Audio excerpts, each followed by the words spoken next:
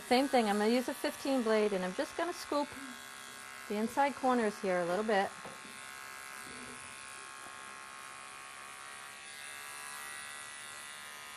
Once again, you have to be very careful if you do this, especially when you're working on Shih Tzus and Lhasas, because a lot of times they have all that gunk they get in around the eyes, and if you go in there, a lot of times the clipper will grab that stuff and you take a chance of nicking them. So just, if you don't feel comfortable doing it with the clipper, try doing it with your thinning shears.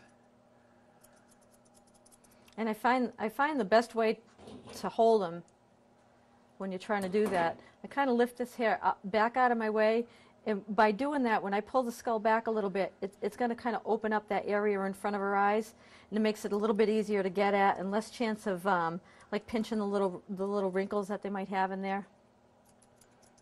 And also, when you pull the skin on the top skull back a little bit, if you clean out in that stop area, those those little wispies that stick out, there's like a little inverted V right in there. If you clean those out with your thinning shears, then they don't stick. Um, into your, into your visor area. Good girl, Sally. Now this is just like most people that do the uh, visor on a Shih Tzu or Lhasa or Maltese, whatever. They'll use a pair of curved shears, and what happens is you use a pair of shears and you cut from one side to the next. It pushes the hair towards the middle of the dog's head, and you wind up making a little you'll have a separation in the dog's coat. And the reason we do it with thinning shears is you can make it look a lot more natural and you make a lot less cuts than you would as if you did, you know, if you did it using a straight or a curved shear. And we want these dogs to look as natural as possible. We, we don't want them to look like they've just been groomed.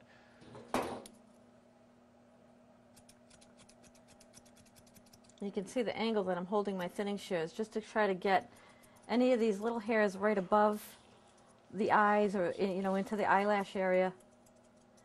If you take those a little tighter, and then they're not going to be hanging in her face and her, in her eyes and cause all kinds of irritation.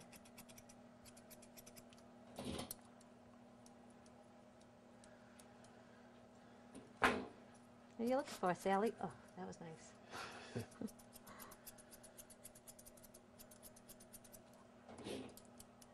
All right, now the hair on the back of her head, once I, once I cut in my little visor area. What I do is I have, I have her chin in my hand and I'm going to pull this here forward. And this stuff on the back of the head, I'm using my thinning shears and I'm just going to blend that into the neck.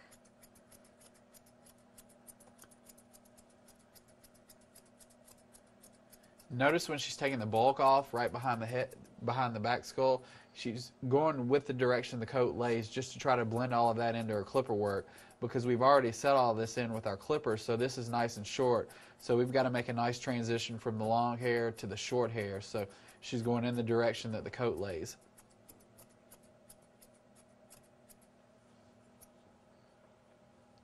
Same thing on this side. Pull that forward and just get rid of all that junk on the back of the ear.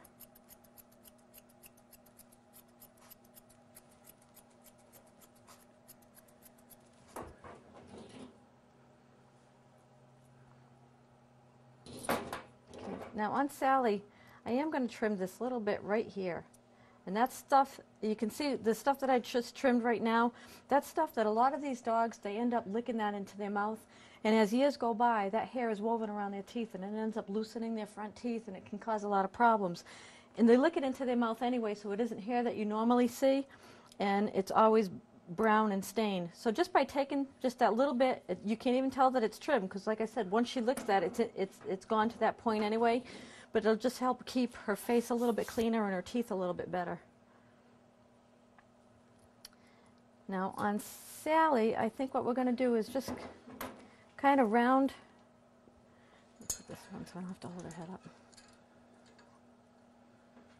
And see, when, when I look at her before she's been groomed, I see the ears are so long, it looks like it's out of proportion. Her whole head is out of proportion with the rest of her body because everything on our body is nice and neat and symmetrical. So we have these ears that are hanging down too low, especially the back of the ears. They've been they've been left too long. So we actually want to create an angle from the back of the ear towards the front of the ear to make it look more balanced and more tailored.